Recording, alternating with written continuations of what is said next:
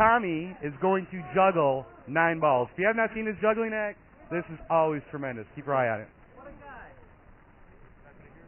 Yeah. Okay, ready? Oh, we got them all nine Here we go. Yay! Hey! Hey! Hey! Hey! Thank you, thank you. Hey! Hey! Hey! Yeah. Throw money. Throw money. Yay! Yay! Is there a record on how long you can do this for? No, I just uh, about 10 or 15 minutes is the max probably. Really? Now this table it plays real good. Look at it. I think I could do it for a long time. That's pretty good. Yeah, yeah. I can't make a ball though. Can You can't miss and I can't Can make you tell us what ball you focus on? I'm just looking in the middle of my peripheral vision. Or you get lessons on this? Yeah.